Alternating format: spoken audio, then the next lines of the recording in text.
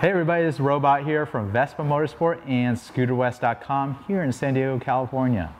For all things Vespa, parts and accessories, whether you're doing a standard tune-up, restoring an old Vespa, or you're looking for cool accessories for your new Vespa, we got you covered on the web, ScooterWest.com.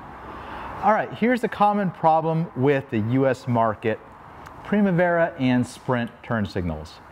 I have a lot of people like, oh, my turn signal is broken, I need a new one.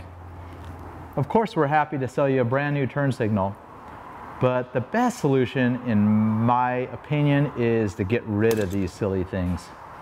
Let me show you how that can be done on this Sprint Sport. For instance, you want to install one of these windscreens, you're going to need to remove those pod turn signals. The pod turn signals do not work with any of the aftermarket windscreens for both the Sprint and the Primavera. Both those scooters are very, very similar. They just have a different handlebar design and some other styling cues. But let me show you our kit.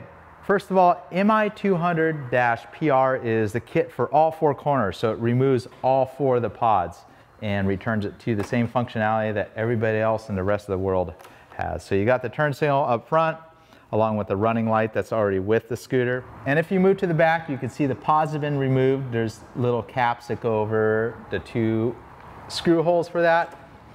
And it converts these extra lights in the turn signals. Another kit that we have that's even more deluxe, a deluxe version of this kit, includes the clear lenses with amber bulbs, just like the European scooters. If you're looking for a less costly option, just for the idea of installing a windscreen and removing just the front pods, you can get the MI200-PR-FRT. And just search these part numbers on our YouTube channel and you'll be able to find the full installation videos for any of these kits. So check out the install videos of those two light kits, uh, maybe something for you. But let's get on to just fixing the stock turn signal if that's what you're looking to do. So just the basic tools needed. You're gonna need a smaller number one Phillips screwdriver. Uh, you can see the turn signals hanging from the wire and on the back side is a single screw that holds the lens. The way these are sold is like a complete assembly, but whenever it separates from this rubber stock, I'll show you how the mechanism works here. So just remove the single screw and oftentimes we'll just stay in there even though you have it loose and then this the screw will separate. I just pulled the, the lens, kind of tipped it forward and pulled it out. And also if you're gonna change a bulb, that's how you do that.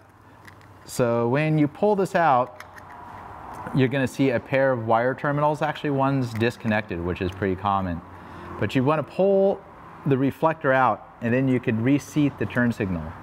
Now that gives you a little more slack to reconnect this other short lead for the, um, the rear turn signal. And it's common that these rear ones, you bump them with your leg and they just fall right off the rubber stock. Very common, um, you can call it issue, but at least the turn signal doesn't break. So make sure both connections are on, the two different size connections. And see this fork right here? When you have the plastic pod seated all the way against the rubber stock, the fork engages with the rubber stock. So just push that back in, and now it's tight. Pop the lens back on, it kind of tips from the inside. Take your small screw here and go from the back side.